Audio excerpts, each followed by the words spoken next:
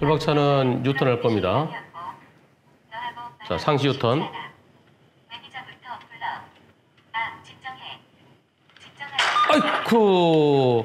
아하, 라디오에서 진정하라고 그랬는데. 아, 어, 절묘하네요, 라디오. 들어보세요.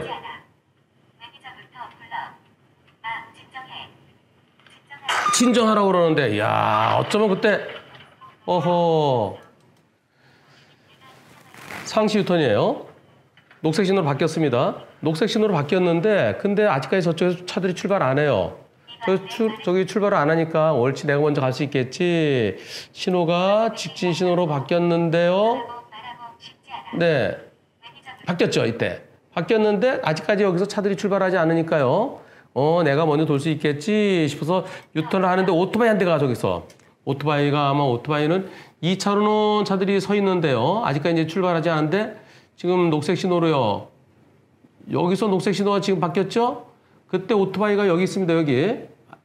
근데 오토바이 달려오던 속도 그대로 그냥 쌩 하면서 다른 차들이 아직까지 출발 안 하니까 도는 순간에 오토바이가 이렇게 와서요. 네. 이번 교차로 넓이가 어느 정도 될까요? 교차로 넓이 보시겠습니다. 이렇습니다. 즉, 여기서 유턴할 때 오토바이는 여기쯤에 있었어요. 여기서 이만큼 와갖고서 사고 난 겁니다.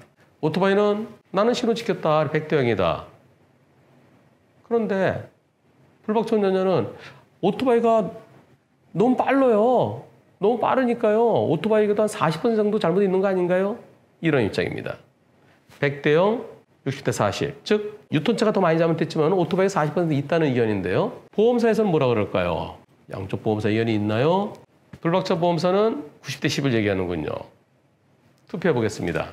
저 오토바이 빠르게 달려왔어요. 둘 중에 하나요. 멈출까 하다가 신호 바뀌니까 다시 땡겼을 가능성도 있고요. 아니면 옳지 이제 신호 바뀔 때 됐다 됐다 됐다 바뀌었다 그랬을 가능성도 있고요. 오토바이 가실이 어느 정도일까요? 0, 10, 20, 30, 40 중에서 투표해 보겠습니다. 매니저부터 불러. 아, 진정해. 진정해.